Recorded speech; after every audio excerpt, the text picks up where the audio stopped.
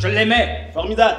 Elle m'aimait aussi. Bon, ben j'imagine qu'elle a dû changer d'avis parce que, d'après ça ici, elle dit que vous l'avez violée. Vous avez jamais supplié un policier de vous laisser partir en état d'ébriété? Vous avez jamais fait ça? Je suis innocent. On s'en sacre Comprenez-vous ça? Tout le monde s'en sacre Savez-vous ce que vous avez le droit de dire à un noir au sujet de la race? Rien. Exact. Ok. Moi, j'ai deux questions. Un. Combien ça nous coûte si on perd? C'est quoi la deuxième question? Je pense pas que ce soit une question d'argent. Je pense pas que ce soit une question d'argent. Vous voulez dire que ma remarque était raciste? Je crois que je devrais parler aux médias. Pour que notre petit divertissement réussisse, ça prend l'élément de surprise.